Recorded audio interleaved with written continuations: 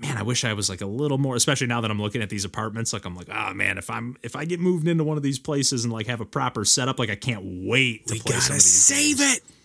I know, I know. All right, let's. I'm I'm good to go. We can. I'm pretty good to go too. Yeah, I just need to crack open the next uh, brew here. nice. We'll see when Ree just jumps off my lap in the middle of recording and just rips the headphones out of the socket. Oh, speaking of, we should do a uh, Ooh, Klapski. Ooh, yeah. I don't think Reese has ever been on my lap when I do a clap, so we'll see how Ooh, she reacts clap. to that. L- little lap clap.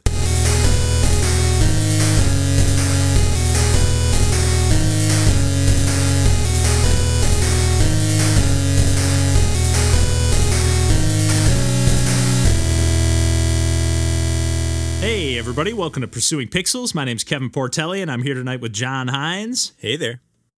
And it's just the two of us. I guess uh, once again, in this regard, last uh, proper episode was just Randall and I. Now we got John and I. Might be John and I for next week because we're planning on chatting a bunch of games here tonight, We'll splitting see it if we a got double whammy. tank.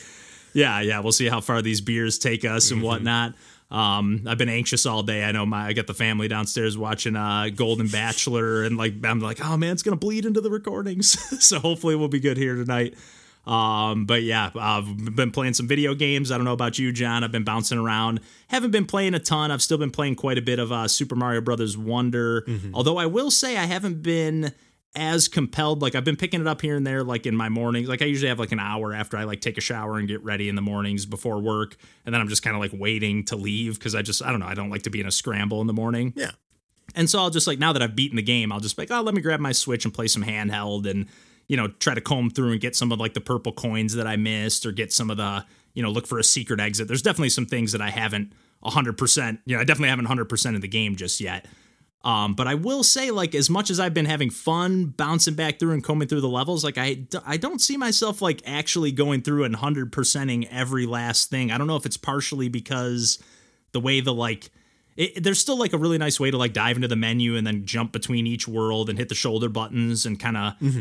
you know, skim through the level selection and pick the one you want to go to and see what's checked off. But I really wish you could just see, like, truly, like, a list of the levels and, like, you know, just okay, let me see all the levels in this world. Do I have the purple coin? Did I get the top of the, you know, It's the so flagpole? And even that, that, that's it's like there. I know it. It feels like a little bit of an oversight almost. As, as cool and as slick and as like stylish as the menus are, they're like really vibrant and almost like alive. Um, the way you can like jump in these menus and like I don't know, it just feels very like snappy and snazzy. But at the same time, yeah, and and like even just the stuff like I don't necessarily want to have to get the top of every flagpole. I think I mentioned this when we talked about it before, or when, it might Well, have been when don't Randall and I. have to. Well, yeah, but like, uh, but like, for example, in Super Mario 3D World, and I think I talked about this last time. Like, you, when you get the cat suit, you can like just climb the top of the flagpole, so you can just kind of like spam and stockpile the little bells, and Yeah. just basically, okay, I didn't get it on this stage. Let me just make sure I have a cat suit when I get to the exit and climb up the top of the pole. And then th- when you did get 100% in that game, like finding all the secrets and getting the top of the pole on each stage, it did unlock like a couple bonus levels and stages and like I'm normally really kind of into that stuff in Mario games. And as much as I'm having a good time with Wonder, I don't see myself unless I get a good proper chance to play some multiplayer with some friends and stuff. I don't know if I see myself like going back and combing through and getting 100% with this game, which is not a complaint at all. I'm like I've still had a blast with the game, but I'm just like that that is something different for me with a Mario game. Yeah. Yeah. I don't know. I know you said last time because I was editing some like save it for the cast stuff the other day, or maybe it was an intro or outro, but I know like right after we finished recording, like the first time we talked about it, you were like, Oh, you guys convinced me I'm picking this game up. So I know you haven't snagged it just yet. Um, but it's one I know we were gaming with our uh, bandmates the other night online, and it, this game does have full online multiplayer.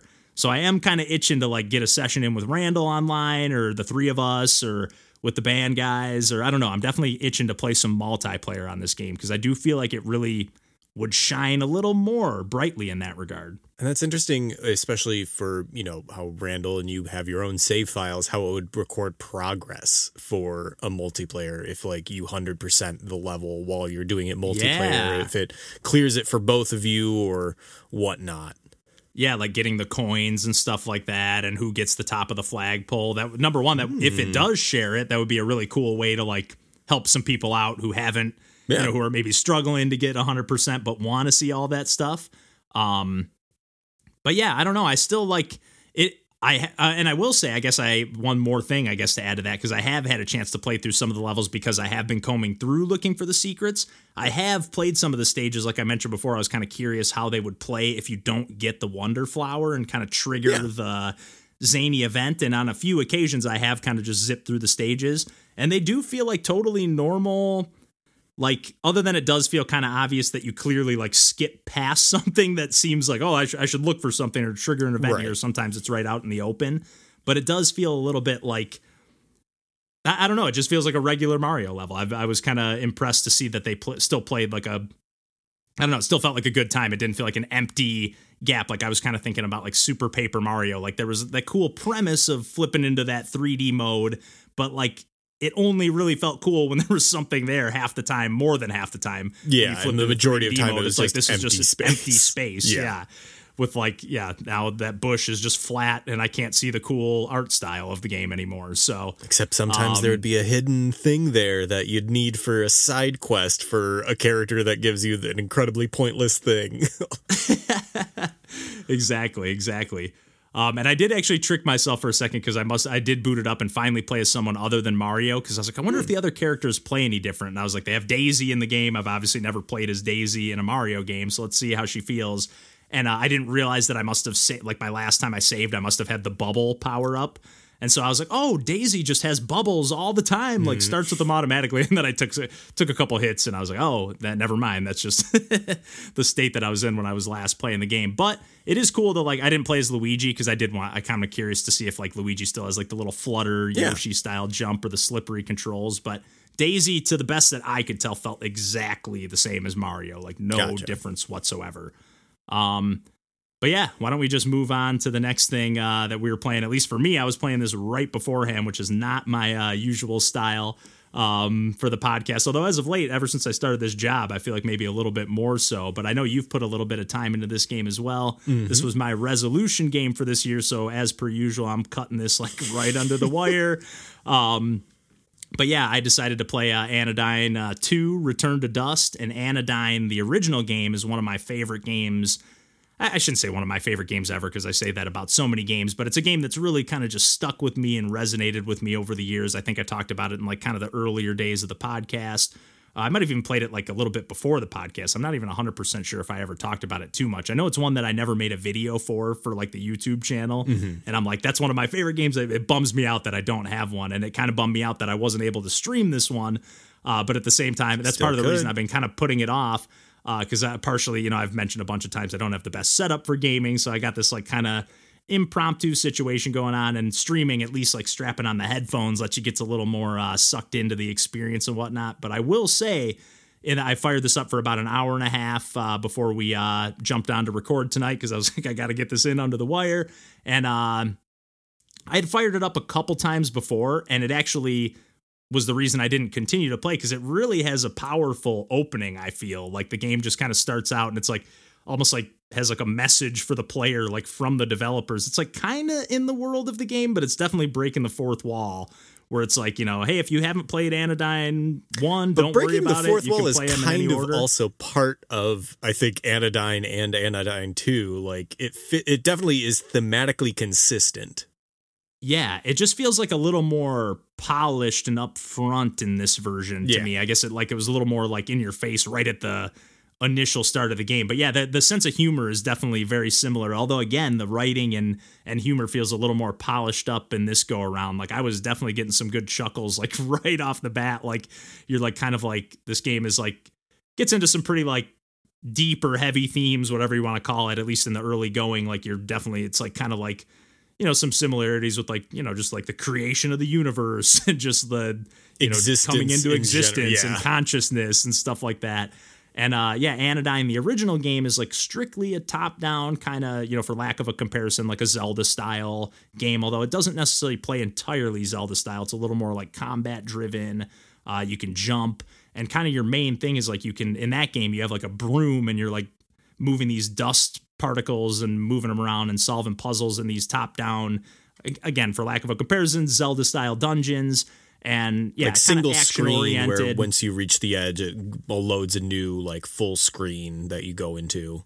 Yeah, and like especially Anodyne One, and this game too a little bit, but Anodyne One is like really kind of retro jank. Like it feels like a kind of really old, like lost PC game that you just like found online somewhere, and mm-hmm. you're just like, how do who made this? You know, I, I don't know. It just like feels really like mysterious, everything about it, and and Anodyne Two is just really leaning into that, but with like higher production values, but at the same time, really kind of like a low res production situation. It's very much leaning into that like PS1 era 32-bit 3D in this game. The difference in this game is it has like full like 3 a full 3D world to explore that to me has like uh, I haven't played a ton of the Final Fantasy series, but I did play actually quite a bit of Final Fantasy VIII, and something about like these opening worlds and settings yeah. are just reminding me a little bit of like Final Fantasy VIII or even like 13. I remember watching uh, like magic technology sort of stuff. Yeah, yeah like futuristic, but like crystals and stuff like that. Yeah. And, um, but it's it's very different but the same. But like mm-hmm. the way again, like you're in total 2D mode in Anodyne 1, but in Anodyne 2, you're like in this 3D, like full blown, you know, third person kind of 3D platformer. Nothing like you're not like doing Mario style platforming or anything like that, but you do have to jump around and land on some narrow ledges and stuff like that. But then you basically just have to find these like corrupted or sick like residents that have been like infected by the dust virus or whatever and then you like blast them with your little like projectile after you talk to them a few times and like kind of trigger that like oh hey they they seem like they need some help mm-hmm. and then you kind of like shrink down to miniature nano size and like basically like go inside their like body or whatever and or whatever the setting is inside of them and like tr- essentially cure them which is is really cool it's like a really to me, it's been so long since I played Anodyne that like I mostly just remember the general like mood and mysteriousness and mm-hmm. like general feeling of it, but I don't necessarily remember like the themes and like content as much. Um, but this game is like kind of really leaning into like there's a lot more dialogue. I feel there was a decent mm-hmm. amount in Anodyne as well, but like when you talk to anyone, like there's quite a bit. Uh, but I really love like in the 3D mode, you can like just transform into like a car vehicle. The, the controls in 3D like, are so nice. It's really yeah. good. Like I appreciate in a sort of open ended platformer, not so much like a precision 3D platformer, but having those yeah. really floaty jumps that allow you to do a lot. And then, yeah, the ability yeah. to just transform into a car. I forget what the mode is called, but it's a great, yeah, it's like transport mode or something.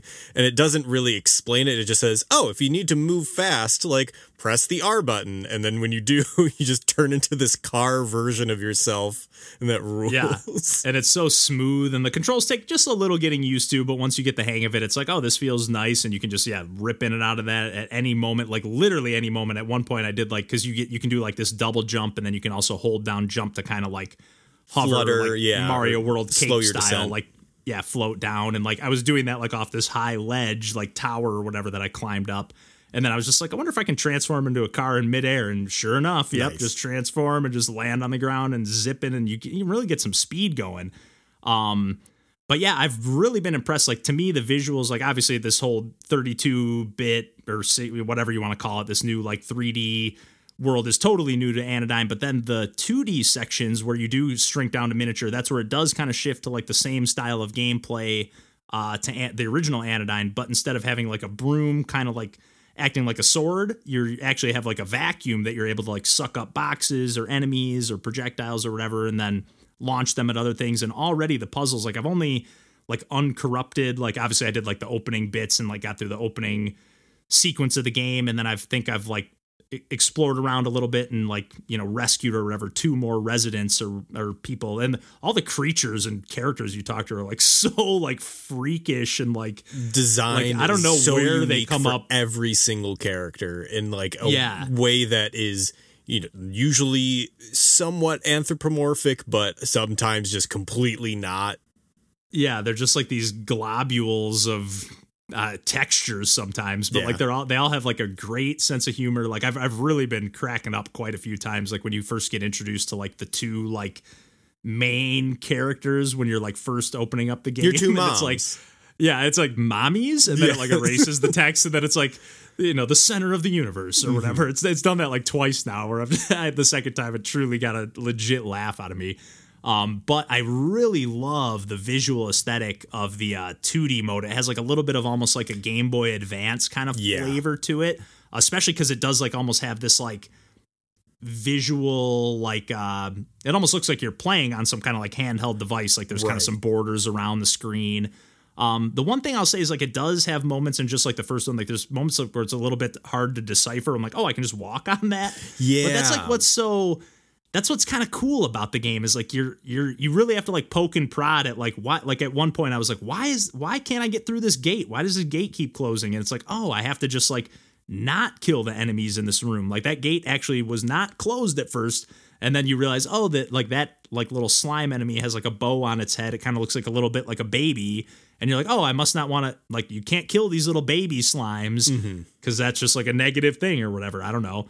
Um, yeah, each but even just has already, its own unique puzzle that may, is somewhat yeah. connected to the other ones, but you really have to. They're each an individual puzzle to solve, independent entirely. Like you can't even like grab a box or a slime and like carry it into the next screen. Like if you walk to the next one, then your little vacuum is empty immediately. But already, like the chain, like again, I've only like rescued two people, and the chain reactions where you got to like have these like flame things off that are like moving along the wall and following you, like shoot and hit a slime that will then hit the slime will then walk into like some kind of cobweb thing and light it on fire yep. so that you can walk through it. Like the puzzles already are getting pretty clever. And I'm like, man, this game is just kicking off. Again, I've only played an hour, hour and a half, and I'm very, very impressed. Um, I am having like those thoughts where I'm like, oh man, I don't have the best setup for gaming. Maybe I should like save this for when I have a better time. Or like I was saying, like, I wish I could have streamed this opening bits and kind of like really got sucked in with the headphones on and stuff like that. But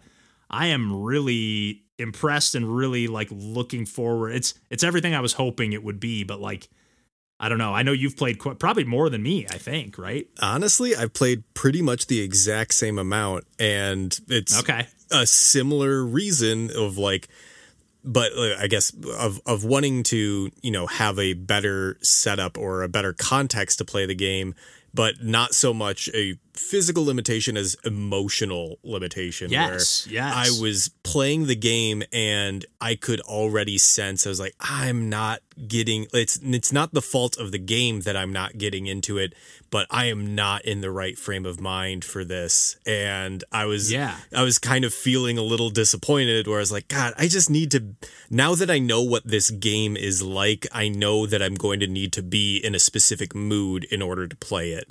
And uh, that's one of the yeah. things that I like about us doing these resolution games is that it kind of forces us to play games that, you know, we're for whatever reason resisting or whatnot. But there are yeah. like certain games where it's like I'm I'm not in the right headspace to play this right now and I'm not going no to doubt, give yeah. this game its fair shake because it's obviously a very well crafted game and it's got a lot to say, but it's going to bounce off me if I force it right now. So that's kind of where I'm at, where I was like, oh, I, I do like this, but I know I'm not liking it as much as I could potentially. That's totally fair because I definitely there was part of me too where I was like I don't want to play more than this because I was already feeling like okay there's a lot of reading going on not not a ton but like you're definitely doing quite a bit of more more than I tend to do mm-hmm. or tend to prefer when I'm playing a game I kind of like to just get right into it and skip right these through these dialogue boxes let's get to the gameplay and like there's been a nice little you know, they're interspersing the gameplay pretty nicely at this point, but I do feel like man, okay, let's get the ball rolling. I want to find these first four cards so I can like upgrade this tank yes. and let's get going. As, yeah, as soon as I got a card, so I was like, oh, that's how that's how long it takes to get a card. Uh, I need to. I'm not going to speed run this game and just yeah. skip over all the emotional depth and that's my instinct when I'm playing games, let alone when I'm trying to like, oh man, I know John already played. Like I, all I did is I looked at my Switch last night and it was like John played Anodyne 2 seven days ago, and I was like, shit, I've only booted this up like. and again, the reason I waited, just like you said, like when I booted up, like the music is so like beautiful right on the menu screen, and like have I even booted up a couple times, like or at least once, maybe even twice that opening sequence where you're like just getting introduced into the world like before you even get to play any gameplay, mm-hmm. and I was just like yeah, this isn't the right time. Like I'm yep. I'm into this, but like I'm not absorbed enough in the moment, and I don't think right now is the time to play this. Uh, but again, obviously, like you said, when the clock's ticking and you're like, hey, you know what? I need to fire this game up. But now that I like am familiar enough with it, whether I keep going with it right this second or wait till I get situated in a new living situation or whatever, like now I at least have the familiarity where if I do start over or pick it up where I left off, I can kind of just breeze through that opening bit mm-hmm. and know what's going on. So I'm at least happy I'm at that point. And I am happy that like it does seem like I'm going to get what I'm looking for, but I am a little nervous because I did play their follow-up game to this Sephonie, I think, and I, I think I talked about it briefly on like a save it for the cast or even a regular episode, and I was like, it did have some 3D platforming. I was gonna say platforming, uh, but platforming, and mm-hmm. it's like felt a little like this, and I didn't necessarily love that one, and it was a little heavy on the story and the dialogue, so I was getting a little fl- uh, pushing little tug of war. Like I'm like I'm getting all the anodyne stuff I love, but I am getting a little bit of that Sephonie stuff that I didn't love as much. Um, but it might be the right. I don't mix. know. It could be the yeah, and they are right working levels. on an yeah, and they are. This team is working on a new game at the moment. I'm drawing a blank on the name of it, but uh, it looks really cool. It looks kind of like a good mix of all the stuff they've done so far. So nice. I'm just a huge fan. It's mostly like a two person studio. Mm-hmm. Um, I think it's Analgesic Games, but yep. it's basically like a two person studio. But yeah, they're doing awesome stuff, and yeah, I'm looking forward to whatever they do next. So nice. Um, but yeah, why don't we kick it over to the other game that uh, you've been playing here, John? Man, so in the most emotional whiplash of something that is, you know, very carefully crafted in terms of making you feel, think a lot and feel a lot and like sit with your emotions, I finally booted up the sequel to in the No More Heroes franchise of No More Heroes 3 that is just an absolute shit show of everything. So wild. I'm a huge Suda 51 fan. Uh, Grasshopper Studios, Suda Goichi, and he yeah. is my auteur of choice over the Hideo Kojima or any okay. other person in the games industry, just because all of Suda's games are so purposefully stupid in a way that knows that they're supposed to be ridiculous and over the top and absurd in that way and very self-indulgent and uh, yeah, yeah, I literally, I think, booted this game up immediately after I put Anodyne 2 down. I was like, yeah, this is the exact speed my brain's working at right now.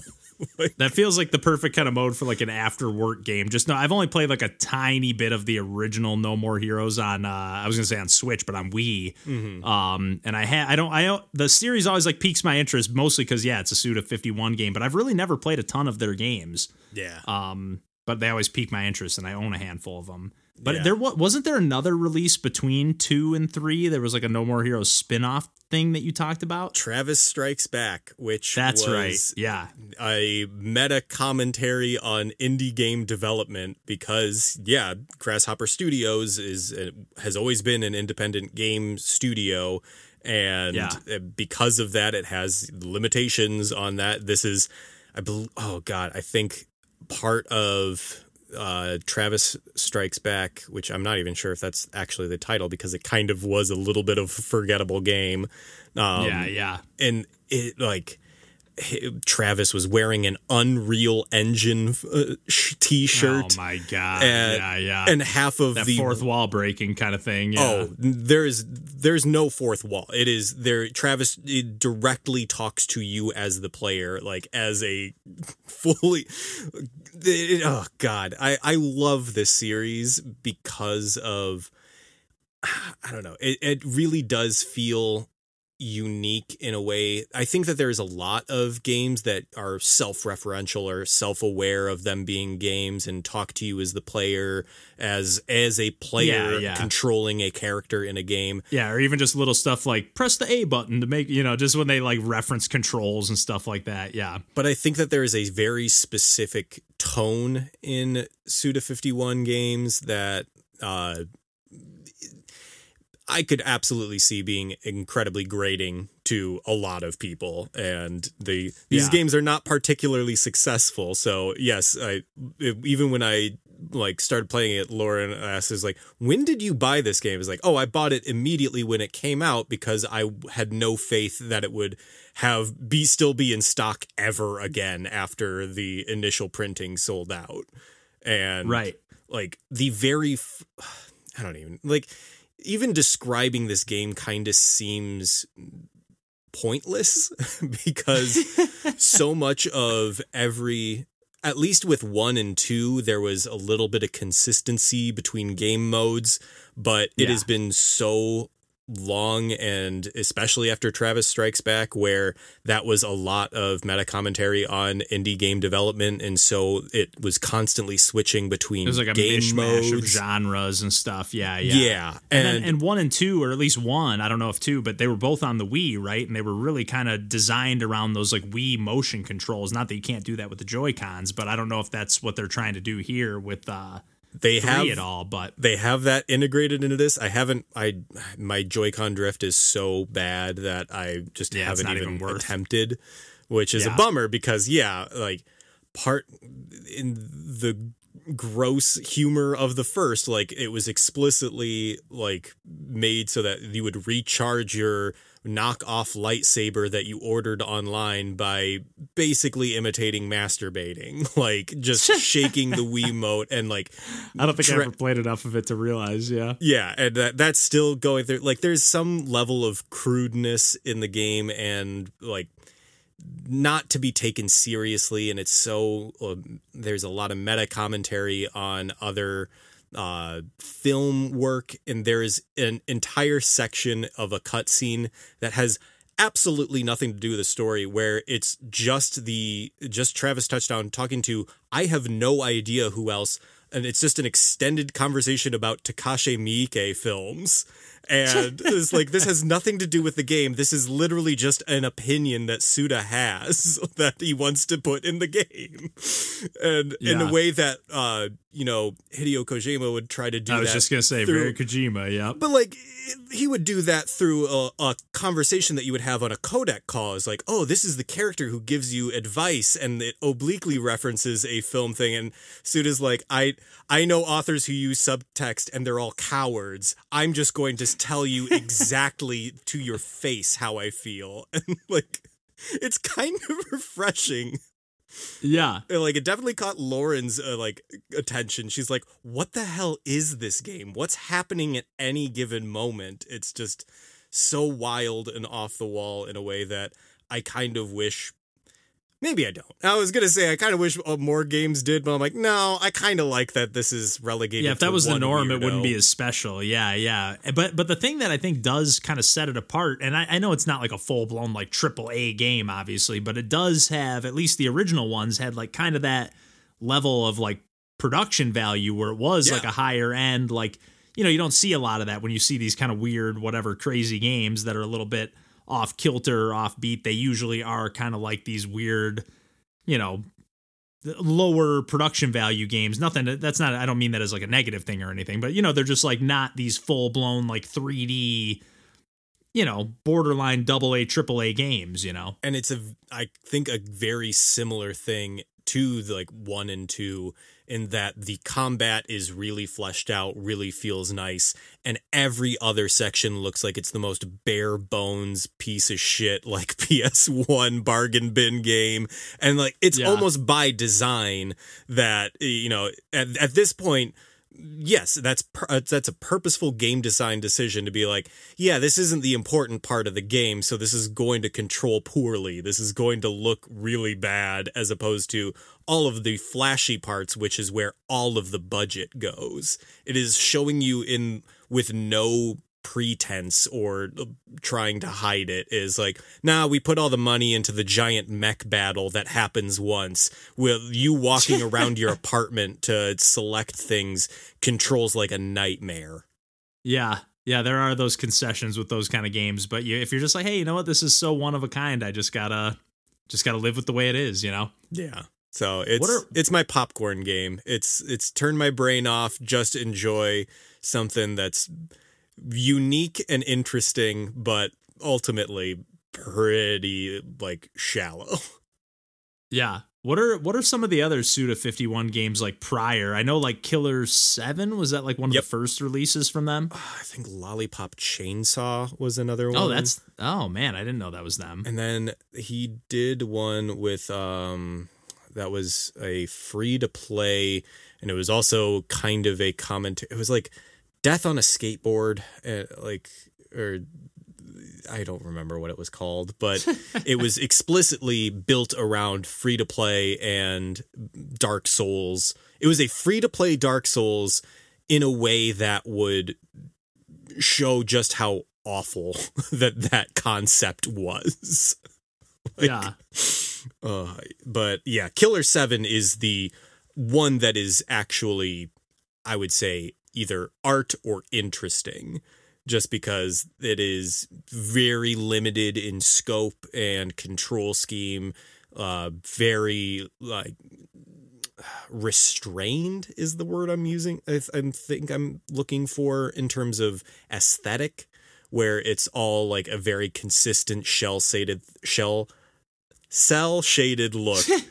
um, whereas you know you kind of get a similar vibe with the No More Heroes series, but it, it just tries to do so much more, and it switches between aesthetics and yeah, even a thing in No More Heroes three is that it opens up with a fictional game and Travis like half remembering and like stumbling through them and it's you realize that he's watching it on like a, an in-universe YouTube so you're seeing playthroughs Oh, of it and it has the exactly it pop up how every channel that does let's plays does and like it shows recommended videos of other video games and it's just like this dreamlike description of a game that you half remember from your childhood. That is uh just perfect. Love it. Yeah, I think the other game I was just looking it up on my phone for a second. The other game I was thinking of from uh, Suda was uh, Shadows of the Damned. I think it's called. It's like a third-person shooter, almost like a Resident Evil. At least that over-the-shoulder, kind of like Gears of War style, whatever, like real close camera. But I remember that game getting like some mixed reviews. But I feel like every time there's a Suda game, there's always like a little bit of hype slash curiosity more than anything. I don't know if it's hype every, Every time, but- Suda 51 game is a 7.5 C minus game. It is always going to be just the But- slightly above average game. but at like 120% of Yes. like whatever it's trying to do like going all in on that like so into it, yeah. Like really going into like the anime like over the topness in a lot of regards and that cell shaded styling i think lends B itself to that movie too splatter. Yeah. like every it, it it wears all of its influences so much on its sleeve. And it's so much so that at this point it's not even trying to hide them. There is a, a literal like face hugger alien scene where they just say, you know, from that movie. yeah and that it's like you like you said you just got to be in the right frame of mind for that kind of stuff Yeah. like sometimes that stuff can hit fall flat but if you're in the right Oh. mood and the right setting it's like okay perfect. Like wrapping up with like a long after a long day of work and i'm just gonna play like the next like chapter or setting. How's the game broken up? Is it like open world-ish or is it like levels and you're just playing through or? They've already set up some in universe thing so that it's set up exactly the same as one and two, even though it's a galactic alien invasion as opposed to an assassin's. Uh, And it doesn't bother to explain, doesn't bother to give you any reason for background. It just shows the alien like behead the president and shove it in front of this like I, I I am assuming it's exactly the same as one and two. I've only gotten past the first area because it does hop between so many different modes of play and so many different things that there was kind of this the tutorial area is a little bit longer because it's padding it out with mo- just more stuff. yeah But yeah I'm, I I'm sorta see why- excited.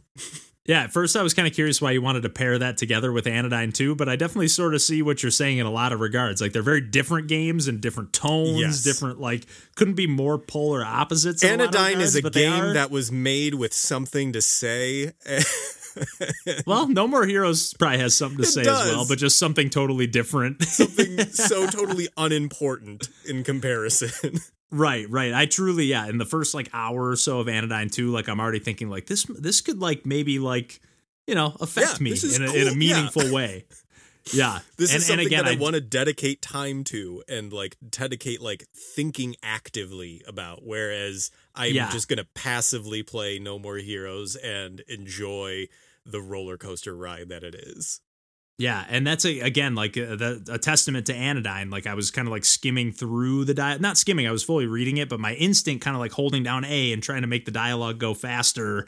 And I'm like, I'm not appreciating this properly. You know, Yeah. I need to like slow down and pump the brakes and, and sit down and enjoy this game because that that music even just like I kept like getting up to like adjust the volume on my TV because I was like. It's not loud enough. I was like, I don't want to be too loud and disrupt everyone else in the house, but I was like, I really need to like hear this music. I'm really getting sucked into this. I will say So- I don't remember if it's uh, what the exact quote is on the original Grasshopper logo. If it's "Punk's not dead," but Suda Goichi is also a huge music fan.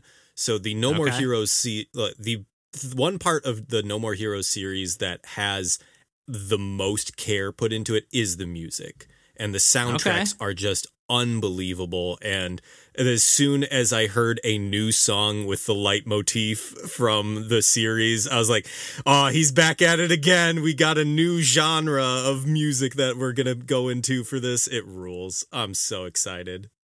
Okay, and is Suda the composer as well, or I the internet in 2003 was a little bit more nebulous and I I don't know if I can trust my memory or the original yeah. sources from what fan translated interviews there were. I think he had a more active role in composing music in the first one and then at I'm pretty sure it was more just musicians and musical bands that he director likes. kind of thing, and- Yeah, yeah, yeah, Who came in the and right- would write a version of like the main theme or something. And, and there's something to be said about that. I mean, even Yeah. even when you're watching a movie and it's just like a you know some song, just regular song, you know, not a score or anything, but just like a pop song, and it's just like, hey, if it's the right song for the right mood, Mm-hmm. or even like the during the credits, you know, there's some songs that are just like, man, that just hits so hard. Like when the credits come on and this. that's why they give playing, Oscars like- for the end credits songs. do they really? That's how most of the like original songs written for. Oh, that's, you're right. That's you're how right. what's his face? Uh, Neil Finn got one for. Uh, I think did he Good get for him. for Lord of the Rings, which is good for him. whatever. That's a that's a completely off topic. Thought for another day. Thought for another day. uh, but I'm I'm good to call it there, bud. Yeah, I was gonna say. Speaking of another day, why don't we uh, wrap it up here for the video games chit chat and whatnot? I'll say I'd, I'm definitely looking forward to playing some more Anodyne 2. I don't know if I'll be playing more of it in 2023 Yeah. for sure, but definitely it's one of the games. Like as soon as I'm situated and have like a proper streaming setup and can get into a little bit more of my routine, I'm like. I'm almost there. Same. I'm definitely this is like one of those games that's like right there for me. But at the same time, I'm also like once I'm situated, Mario Wonder, like have some friends over and like, hey, got enough controllers, let's pass around the Joy Cons and play some multiplayer. So I'm definitely a couple games that I've been playing a little, quite a bit of, but looking forward to playing more of. So. Nice. But uh, yeah, we'll wrap it up there for this week. And uh, as always, you can find us on the internet at pursuingpixels.com or virtually uh, anywhere else. Just look up Pursuing Pixels. And uh, yeah, until next week, we'll uh, catch you then and take care. And yeah, see ya. Bye. oh, good.